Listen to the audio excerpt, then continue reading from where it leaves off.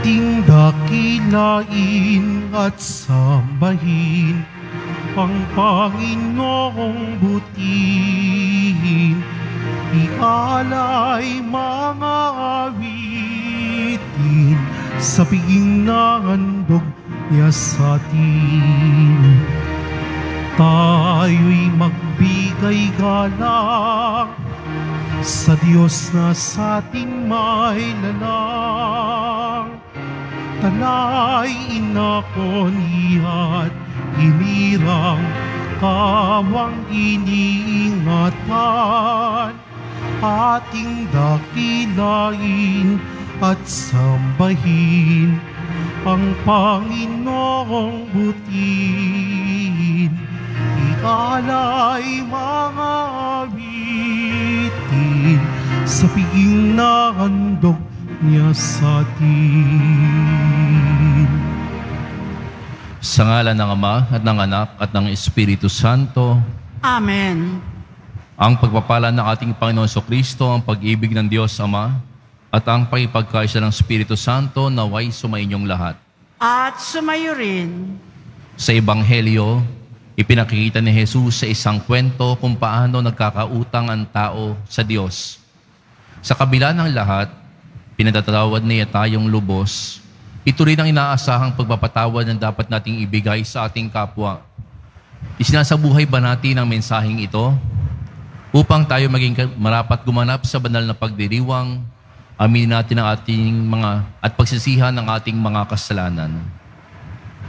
Inaamin ko Sa makapangyarihang Diyos at sa inyo mga kapatid, na lubha akong nagkasala sa isip, sa salita at sa gawa, at sa aking pagkukulang, kaya isinasamo ko sa mahal na Birheng Maria, sa lahat ng mga anghel at mga banal, at sa inyo mga kapatid, na ako'y ipanalangin sa Panginoong ating Diyos. Kaawaan tayo ng makapangyarihang Diyos. Patawarin tayo sa ating mga kasalanan at patnubayan tayo sa buhay na walang hanggan. Amen. Panginoon, kaawaan mo kami. Panginoon, kaawaan mo kami. Kristo, kaawaan mo kami. Kristo, kaawaan mo kami. Panginoon, kaawaan mo kami. Panginoon, kaawaan mo kami.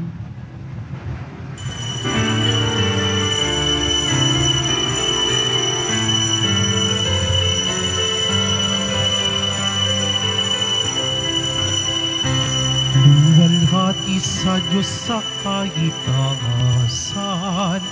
kaloob sa lupa ay kapayapaan. Pinupuri ka't ipinagdarangal, sinasamba ka dahil sa dakila mong kalwalatian. Panginoong aming Diyos sa rin langit, Amang makapangyarihan, Panginoong Heso Kristo, buktong na anak ng Diyos, kordero ng Ama, ikaw na nag-aalis ng mga kasalanan ng sanlibutan. Tanggapin mo ang aming kahilingan, ikaw na naluluklok sa kanan ng Ama. Makawa ka sa amin, ikaw lamang ang banal, Panginoong Yesu Kristo, kasama ng Espiritu, salwalhati ng Ama. Amen. Amen. Amen. Amen. Manalangin tayo.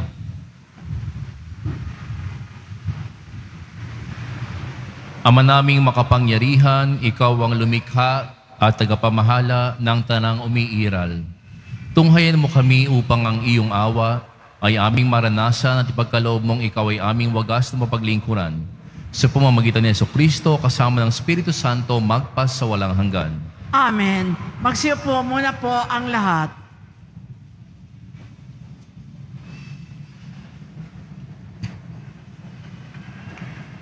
Pagbasa mula sa aklat ni Sirach.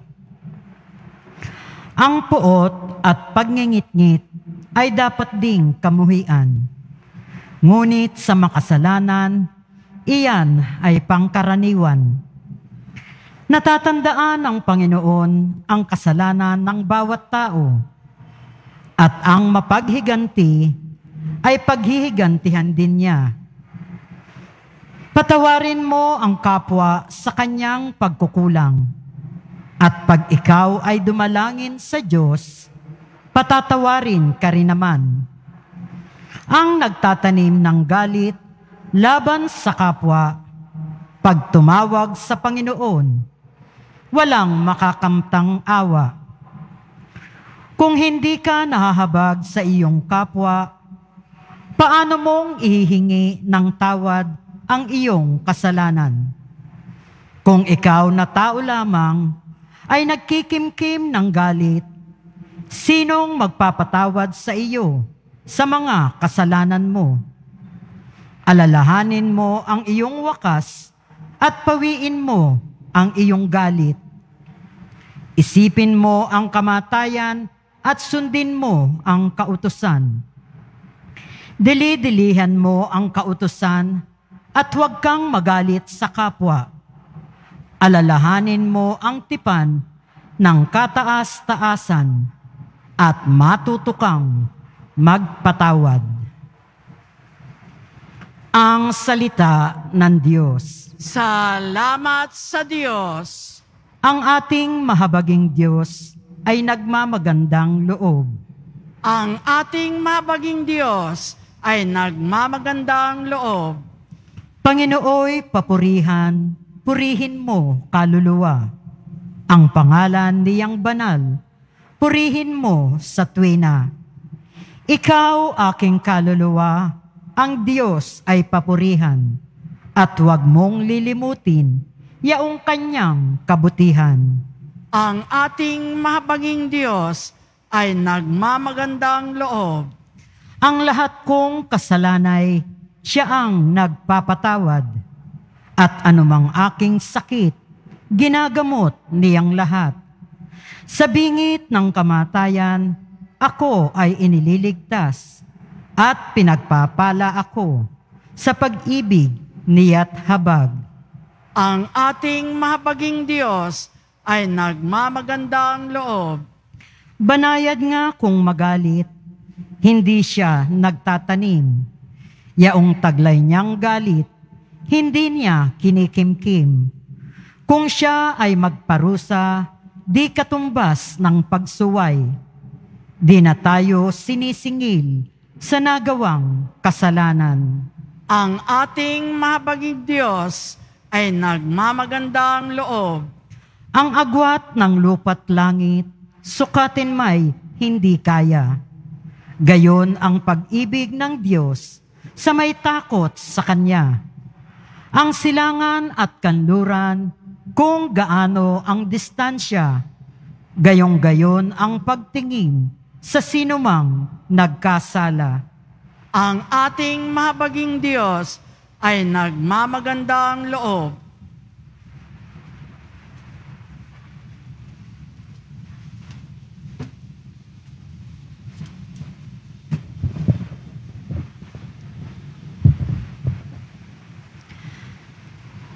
Pagbasa mula sa sulat ni Apostol San Pedro, Pablo sa mga taga-Roma. Mga kapatid, walang sino man sa atin ang nabubuhay o namamatay sa kanyang sarili lamang. Kung tayo'y nabubuhay, nabubuhay tayo para sa Panginoon. At kung tayo'y namamatay, namamatay tayo para sa Panginoon. Kaya nga, sa mabuhay o sa mamatay, tayo'y sa Panginoon. Sapagkat si Kristo ay namatay at muling nabuhay upang maging Panginoon na mga batay at mga buhay. Ang salita ng Diyos. Salamat sa Diyos.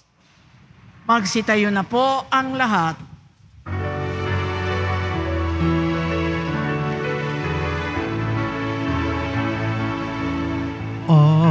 Hallelujah.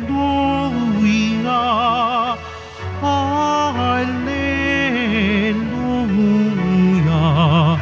Ah, Hallelujah. Hallelujah.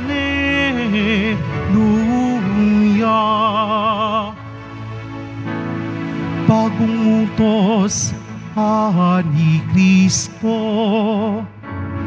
magibigan sana kayo katulad ng pag-ibig ko. Ah, hallelujah. Ah, hallelujah. Ah, hallelujah.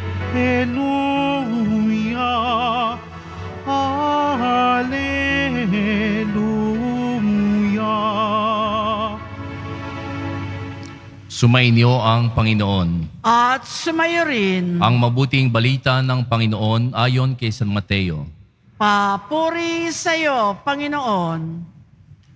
Noong panahong iyon, lumapit si Pedro kay Jesus at nagtanong sa kaniya, Panginoon, makailan kong patatawarin ang aking kapatid na paulit-ulit na nagkakasala sa akin? Makapito po ba? Sinagot siya ni Jesus. Hindi ko sinasabing makapito, kundi pitumpong ulit pa nito, sapagat ang paghahari ng Diyos ay katulad nito. Ipinasya ng isang hari na pagbayari ng kanyang mga lingkod na may utang sa kaniya. Unang dinala sa kaniya ang may utang na sampung milyong piso.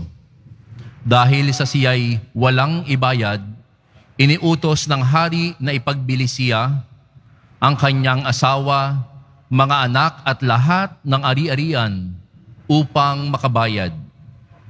Nanikluhod ang taong ito sa harapan ng hari at nagmakaawa. Bigyan pa ninyo ako ng panahon at babayaran ko sa inyo ang lahat. Naawa sa kaniya ang hari, kaya ipinatawad ang kanyang mga utang at pinayaon siya. Ngunit pagkaalis niya roon ay nakatagpo niya ang isa sa kanyang kapwa lingkod na may utang na limandaang piso sa kaniya. Sinunggaban niya ito at sinakal sa baywika. Magbayad ka sa utang mong. Naglumuhod iyon at nagmakaawa sa kaniya. Bigyan mo pa ako ng panahon at babayaran kita. Ngunit hindi siya pumayag. Sa halip, ipinabilanggo niya ang kanyang kapwa lingkod hanggang sa ito'y makabayad. Nang makita ng kanyang mga kapwa lingkod ang nangyari, sila'y labis na nagdamdam. Pumunta sila sa hari at isinumbong ang nangyari. Kaya't ipinatawag siya ng hari. Ikaw, napakasama mo, sabi niya. Pinatawad kita sa utang mo sapagkat nagmakaawa ka sa akin at nahabag ako sa iyo. Hindi ba dapat ka mahabag sa kapwa mo? At sa galit ng hari, siya'y ipinabilanggo hanggang sa mabayaran niya ang kaniyang utang. Gayon din ang gagawin sa inyo ng aking amang nasa langit kung hindi ninyo patatawarin ang inyong kapwa. Ang mabuting balita ng Panginoon. Pinupuri ka namin, Panginoong Heso Kristo. Magsiupo muna po ang lahat.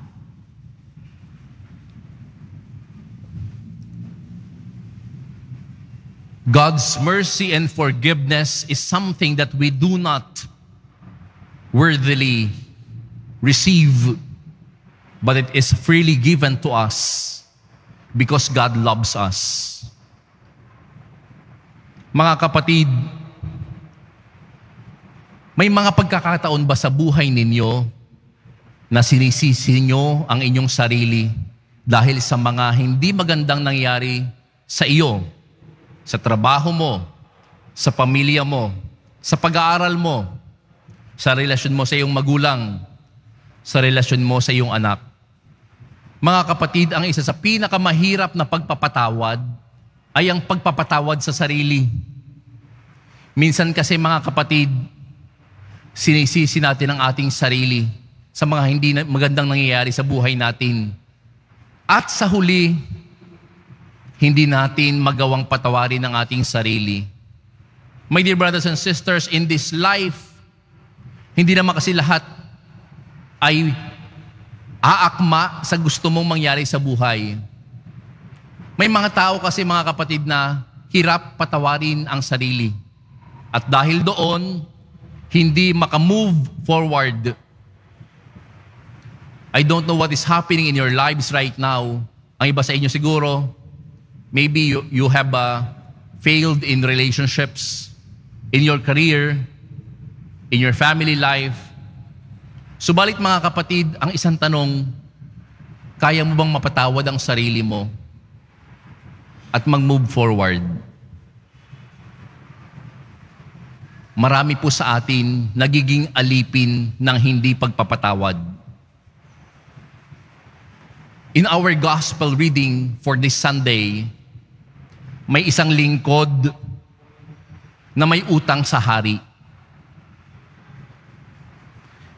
Itong lingkod na ito, ipapabilanggo na sana sapagkat hindi makabayad.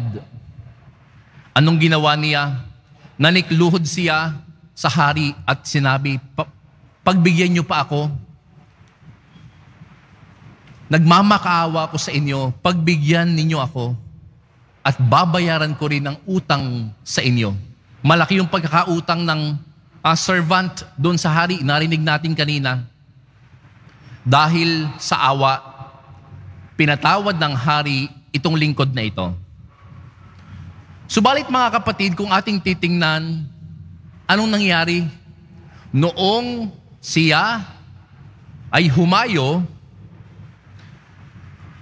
pinayaon siya ng hari, pinatawad ang kanyang utang. Ngunit pagkaalis niya roon ay nakatagpo niya ang kanyang kapwa lingkod na may utang sa kanya na maliit na halaga. Sinunggaban niya ito at pinagwikaan, magbayad ka ng utang mo. Anong ginawa noong kanyang kapwa lingkod? Nakiusap, nagmakaawa, bigyan mo muna ako ng oras, babayaran din kita. Subalit anong ginawa nitong lingkod na ito sa kanyang kapwa lingkod na may kaunting utang sa kanya? Ipinabilanggo hanggang sa makabayad yung kanyang kapwa lingkod. Nakita po ninyo ang pagkakaiba. Humingi siya ng awa. Siya ay nagmakaawa. Kinaawaan siya. Subalit ang awa ay hindi dumaloy sa kanya. Natigil ito, na-stuck ito. My dear brothers and sisters, when the Lord would grant mercy to us, we should be channels of mercy to others. Kapag ikaw ay kinaaw, kinaawaan ng Diyos, hindi dapat ma-stuck sa iyo yung awa. Dapat ito ay patuloy na dumaloy din sa iba. Anong nangyari doon sa isang lingkod? Ito ay na-stuck sa kanya, hindi dumaloy sa kanyang kapwa lingkod. My dear brothers and sisters, kapag hindi tayo marunong magbigay ng awa sa iba, anong uri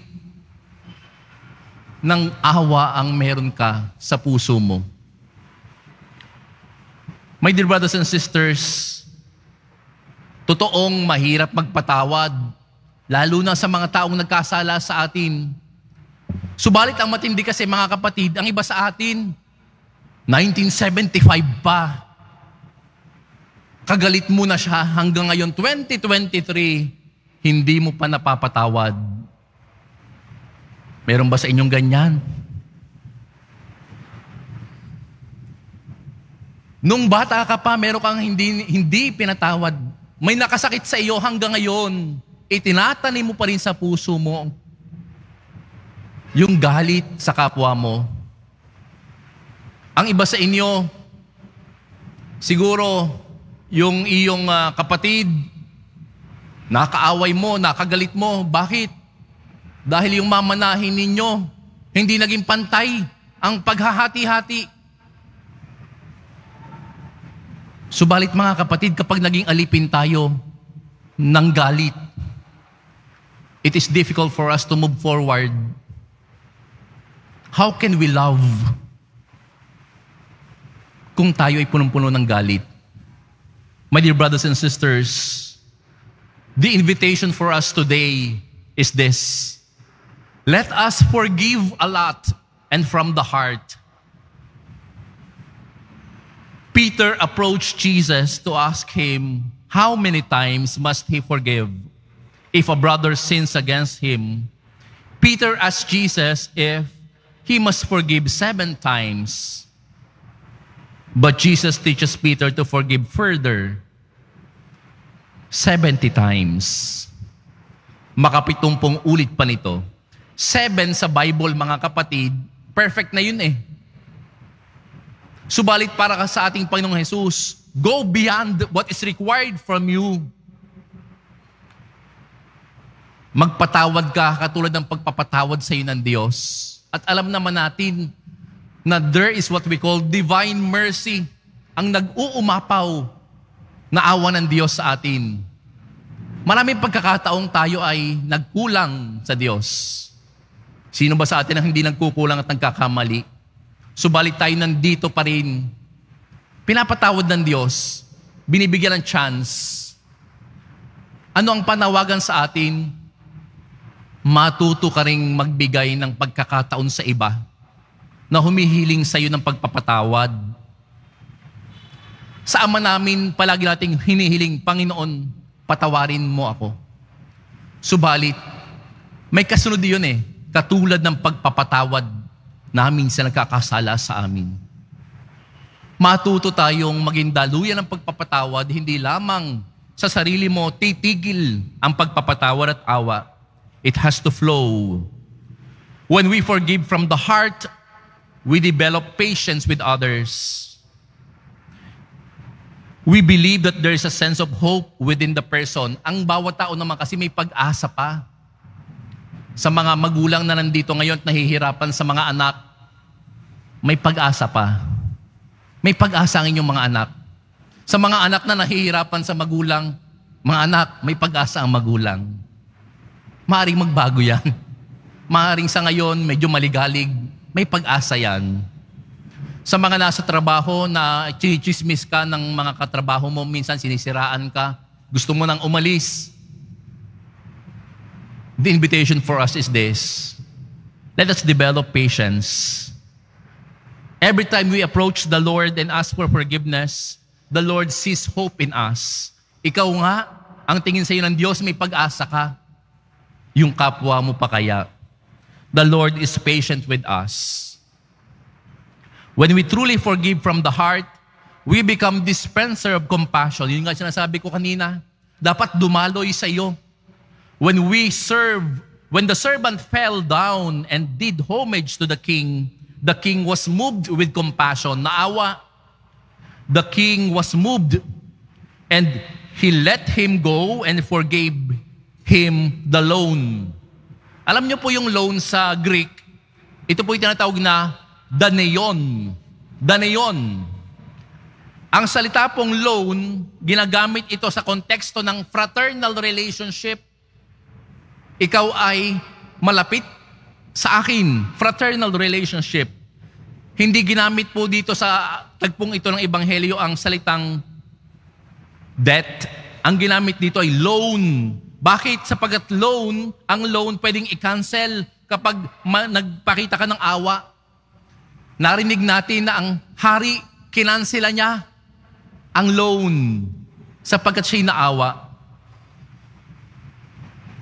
When we forgive, ganun din mga kapatid, we become dispensers of compassion. Kaya mga kapatid, ikaw ba'y humihiling sa Diyos ng pagpapatawad, subalit nahihirapan ka magpatawad?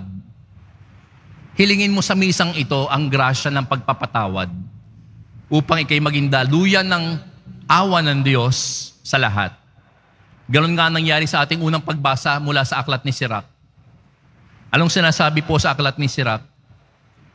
Ang puot at pagngit-ngit ay dapat ding kamuhian, ngunit sa makasalanan, iyan ay pangkaraniwan. Ang imbitasyon sa atin mga kapatid ay ganito, Kapag daw kasi tayo nagtatanim ng galit laban sa kapwa, pag tumawag sa Panginoon, walang kakamtang awa. Paano ka kakaawaan? Ikaw mismo hindi ka marunong maawa, hindi ka marunong magpatawad. Huwag hayaang ang galit na itinanim mo 35 years ago ay nandyan pa rin sa puso mo. Free yourself palayain mo ang sarili mo sapagkat yung kinagagalitan mo, masaya na, ikaw hindi pa. Move forward. Sa banal na misa mga kapatid, sa Eukaristiya at sa sakramento ng kumpisal, nararanasan natin ang pagpapatawad ng Diyos mula sa puso. Ang mahal na pong ng Jesus Nazareno, Binubuhat ang krus ng ating mga pagkakasal at pagsuway. Subalit sa kanyang bigat, sinasabi niya sa atin, mahal kita ng higit pa sa inaakala mo. Sa kabila ng iyong pagkakasala, hindi kita sinasaraduhan ng awa. May we also share this forgiveness from the heart by developing patience with others and by becoming dispensers of compassion, maging mapagpasensya at maging daluyan ng awa sa iba. Amen. Magsitayo na po ang lahat.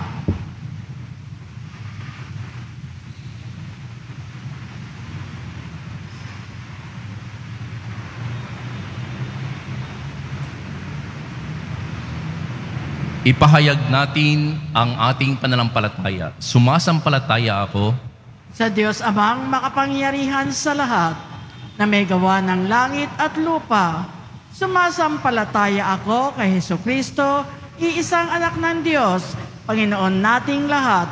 Nagkatawan tao siya, lalang ng Espiritu Santo, ipinanganak ni Santa Maria ang Birhen, pinagpakasakit ni Poncio Pilato, ipinako sa krus, namatay inilibing, nanaog sa kinaroroonan ng mga yumao, nang may ikatlong araw na buhay na maguli, umakyat sa langit, na luluklok sa kanan ng Diyos amang makapangyarihan sa lahat.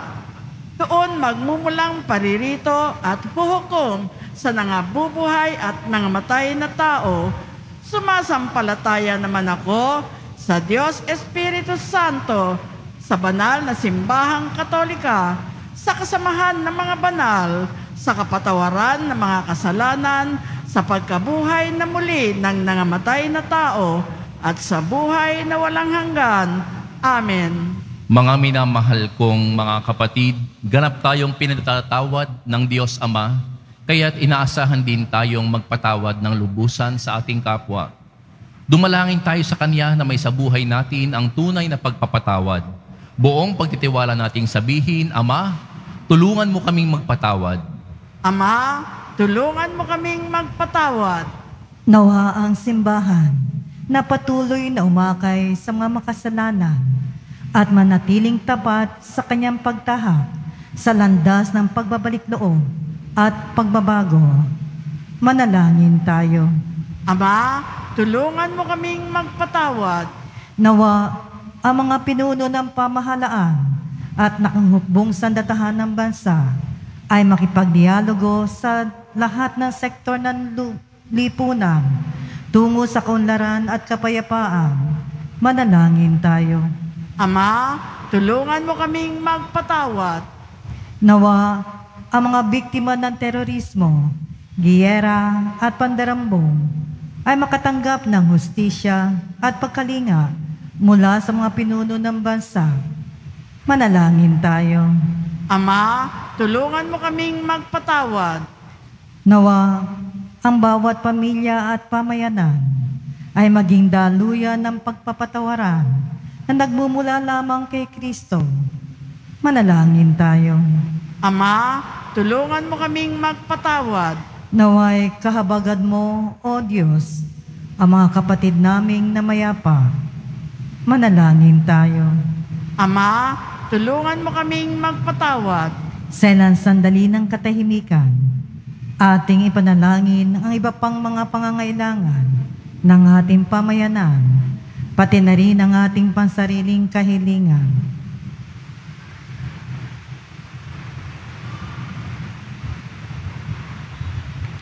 Manalangin tayo. Ama, tulungan mo kaming magpatawad Tunghayan mo, Ama, ang iyong bayang sugatan. Palitan mo ang aming mapagmatigas na puso ng puso mapagpatawad at mapangunawa sa aming kapwa. Batid namin kung wala ang iyong tulong, wala kaming lakas para magpatawad. Ikaw na nagbubuhay nagahari ngayon at magpa sa walang hanggan. Amen. Magsipo muna po ang lahat.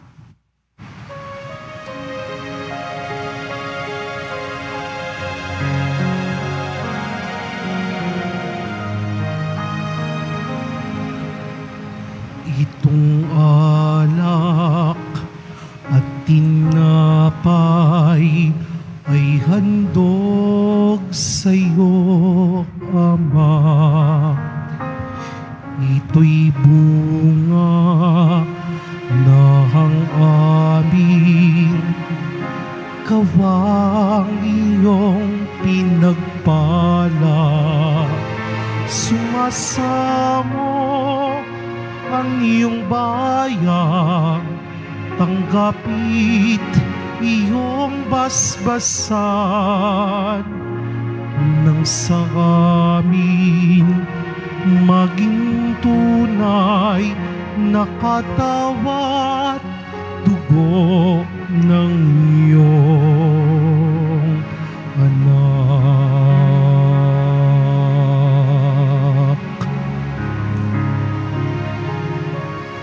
Magsitayo na po ang lahat. Manalangin kayo mga kapatid upang ang paghahain natin ng kalugdan ng Diyos sa mga makapangyarihan. Tanggapin nawa ng Panginoon itong paghahain sa iyong mga kamay sa kapurihan niya at karangalan sa ating kapakinabangan at sa buong sambayanan niyang banal.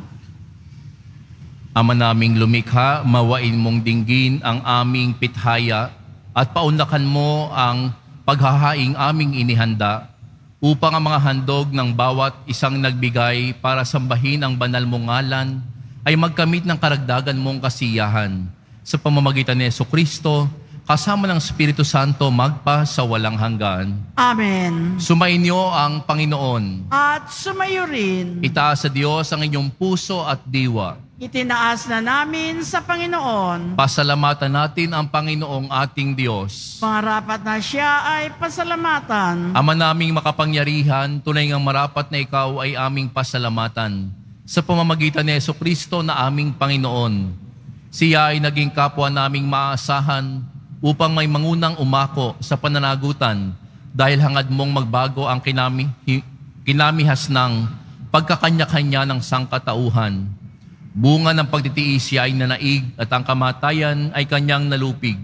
Kaya't siya ang aming daan para aming masapit ang iyong tapat at maasahang pag-ibig.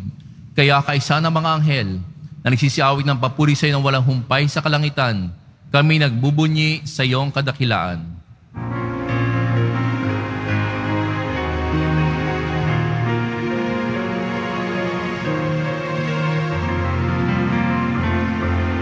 Santo, Santo, Santo, Panginoong Diyos ng mga hukbo. Napupuno ang langit at lupa ng kadakilaan mo. O sana, o sana, sa kaitaasan, pinagpala ang naparirito sa ngalan ng Panginoon. O sana, o sana, sa kaitaasan.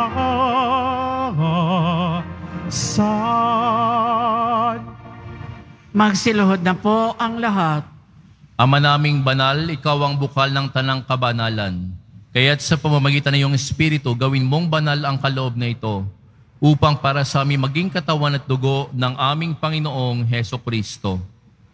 Bago niya pinagtiis ang kusang loob na maging handog, hinawakan niya ang tinapay, pinasalamatan kaniya, pinaghati-hati niya iyon, iniabot sa kanyang mga alagad at sinabi, Tanggapin ninyong lahat ito at kanin. Ito ang aking katawan na ihahandog para sa inyo.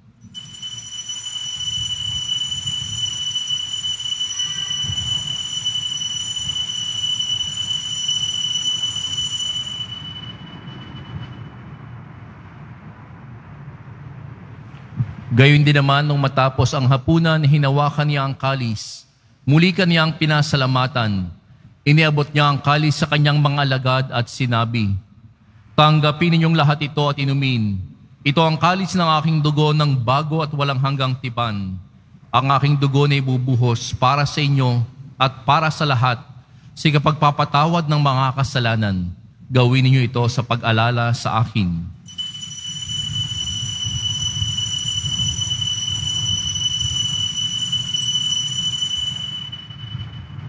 Magsitayo na po ang lahat.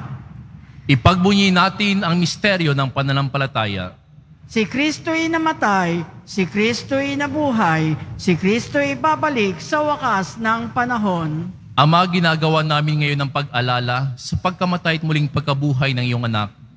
Kaya't inialay namin sa iyo ang tinapay na nagbibigay buhay at ang kalis na nagkakalob ng kaligtasan. Kami nagpapasalamat dahil kami iyong minarapat na tumayo sa harap mo para maglingkod sa iyo. Isinasamo namin kaming magsasalo-salo sa katawan at dugo ni Kristo ay mabuklod sa pagkakaisa sa pamamagitan ng Espiritu Santo. Ama, lingapin mo ang iyong simbahang laganap sa buong daigdig. Puspusin mo kami sa pag-ibig kay isa ni Francisco na aming Papa at ni Jose na aming Obispo at ng Tanang Kaparian. Alalahanin mo rin ang mga kapatid naming nahimlay nang may pag-asang sila'y muling mabubuhay, gayon din ang lahat ng mga pumanaw. Kaawaan mo sila at patuloyin sa iyong kaliwanagan. Kaawaan mo at pagindapatin kaming lahat na makasalo sa iyong buhay na walang wakas kaysa ng mahal na Birheng Maria na ina ng Diyos, ng kabiyak ng puso niyang si San Jose, kaysa ng mga apostol, ni San Juan Bautista at ng lahat ng mga banal na namuhay dito sa daigdig ng kalugod-lugod sa iyo, may pagdiwang nawa namin ang pagpupuri sa kararangal mo sa pamamagitan ng iyong anak na aming Panginoong Heso Kristo. Sa pamamagitan ni Kristo, kasama niya at sa Kanya, ang lahat ng parangal at papuri sa iyo, Diyos amang makapangyarihan, kasama ng Espiritu Santo, magpa sa walang hanggan. Amen. Amen. Amen.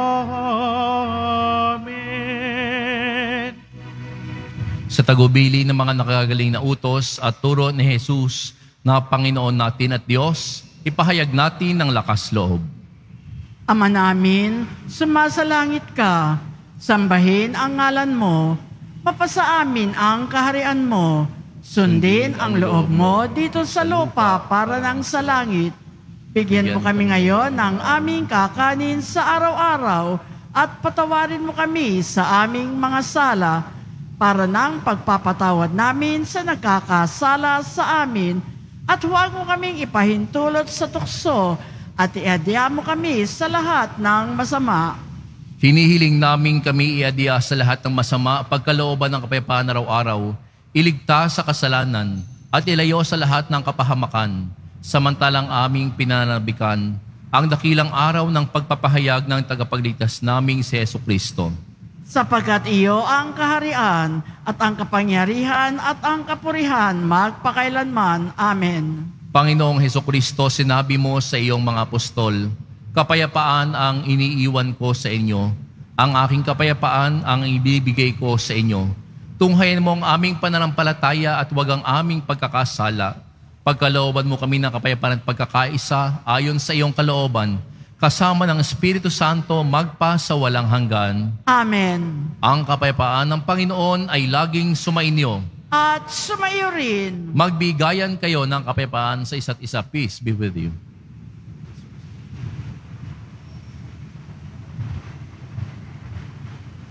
Kordero ng Diyos na nag-aalis ng mga kasalanan ng sanlibutan, maawa ka sa amin. Kordero ng Diyos na nag-aalis ng mga kasalanan ng sanlibutan, maawa ka sa amin. Kordero ng Diyos na nag-aalis ng mga kasalanan ng sanlibutan, ipagkaloob mo sa amin ang kapayapaan. Magsiluhod po ang lahat.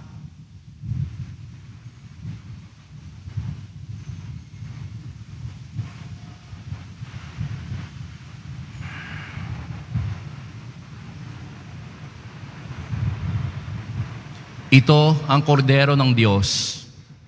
Ito ang nag-aalis ng kasalanan ng sanlibutan. Mapalad ang mga inaaniyahan sa kanyang piging. Panginoon, hindi ako karapat dapat na magpatuloy sa iyo, ngunit sa isang salita mo lamang ay gagaling na ako.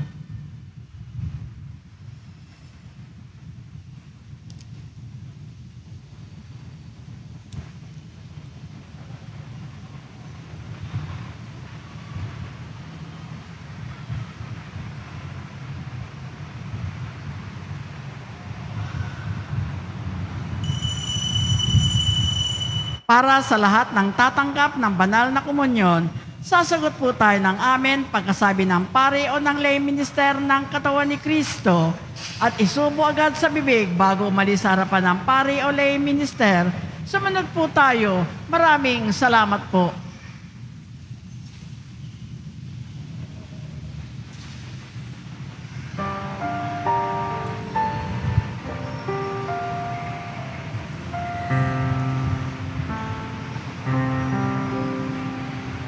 Loving and forgiving are you, O Lord. Slow to anger, rich in kindness, loving and forgiving are you. All my being, bless the Lord. Bless the holy name of God. All my being, bless the Lord. Remembering the goodness of God. Loving and forgiving are you, O. Slow to anger, rich in kindness, loving and forgiving are you. God forgives us all our sins, healing those who live in pain, saving us from final death. God fills us with goodness and love loving and forgiving are you, O Lord. Slow to anger, reaching kindness, loving and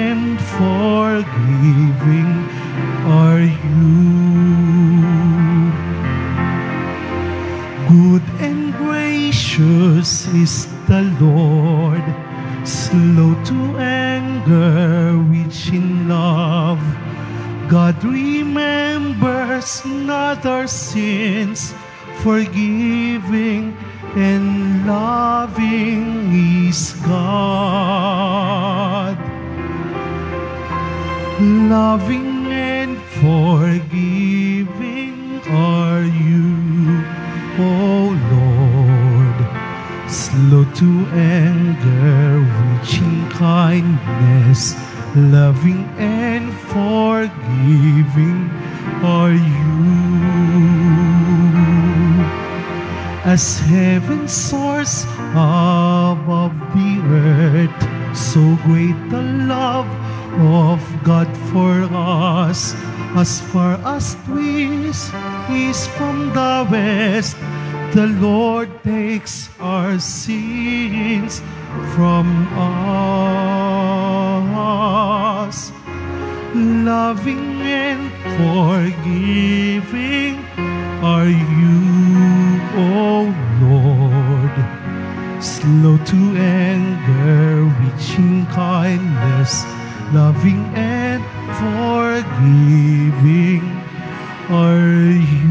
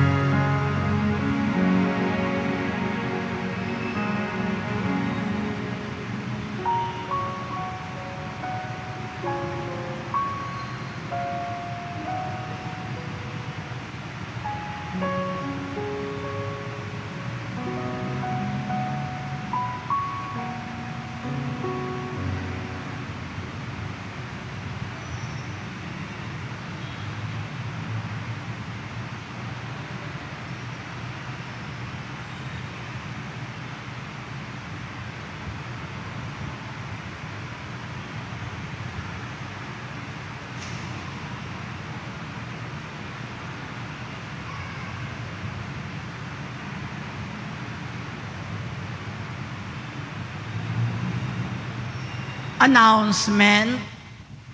Ngayon po ay Catechist Sunday. Kaugnay nito, magkakaroon po tayo ng second collection para sa programa ng CBCP, Episcopal Commission on Catechesis at Catholic Education. At sa patuloy na paghuhubog ng mga katekista, tumulong po tayo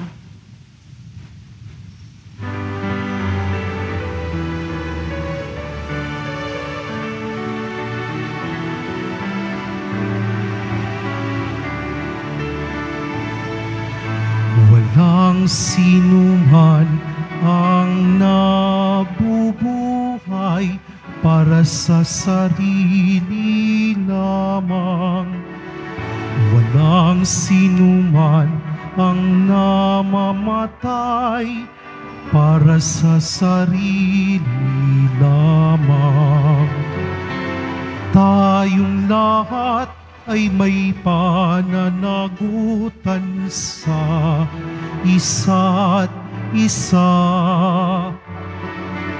Tayong lahat ay tinipon ng Diyos na kapiling niya.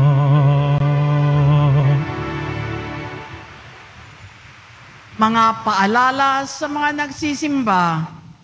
Pagkatapos ng misa, wiwisikan po ang lahat ng banal na tubig. Pinakikiusapan ang lahat na manatili lamang muna sa inyong mga lugar, tanging sa Quezon Boulevard o sa Plaza San Juan lamang ang labasan ng lahat. Sumunod po tayo. Maraming salamat po sa inyong pagdalaw at pagsisimba sa Basilica Minor at Pambansang Dambana ni Jesus Nazareno. Magsitayo na po ang lahat.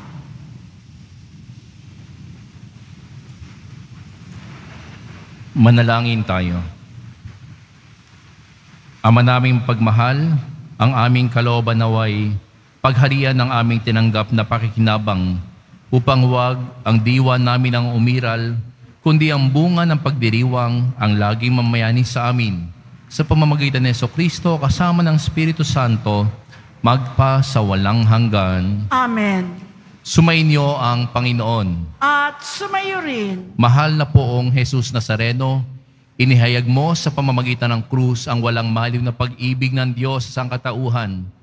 Pakinggan mo ang kahilingan ng iyong angkan na nagsusumamo sa iyo. Makamtan nawa nila ang iyong katugunan at tanggapin ang kasagutan na may utang ng loob na tinatanaw. Basabasan din po ninyo ang mga daladala nilang mga imahen at dasalan. Sa pamamagitan ng bendisyon na ito, naway maalala nila ang pangako nila noon sa biniyag, na ikaw ay kanilang iibigin at paglilingkuran bilang Panginoon, magpa sa walang hanggan, Amen. pagpalain kayo ng makapangyarihang Diyos, Ama, Anak at Espiritu Santo, Amen. humayo kayong taglay ang kapayapaan ng poong Jesus Nazareno. Salamat sa Diyos.